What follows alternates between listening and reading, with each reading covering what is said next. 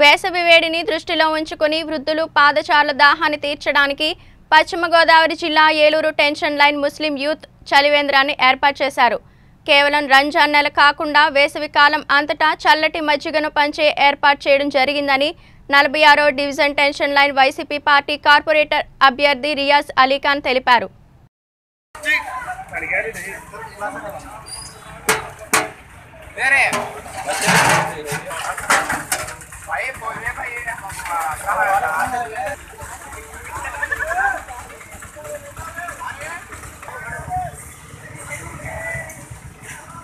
స్థానిక నలభై ఆరు డివిజన్ పెన్షన్ లైన్ స్థానికంగా ఉన్న పెన్షన్ లైన్ ఆర్చ్ సెంటర్ వద్ద.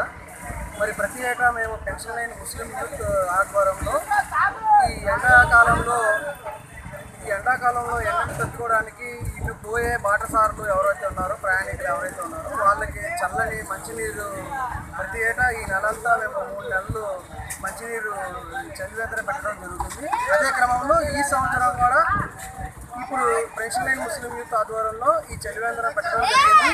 ఈ చలివేంద్రంకి ఇప్పుడే ఇంతకు ముందలే మన ఎస్ఎంఆర్ పెద్దబాబు గారు మరియు మా పెన్షన్ లైన్ మసీదుకి సంబంధించిన మసీదు పెద్దలు వచ్చి ఓపెనింగ్లో ఓపెనింగ్ చేసి వెళ్ళారు.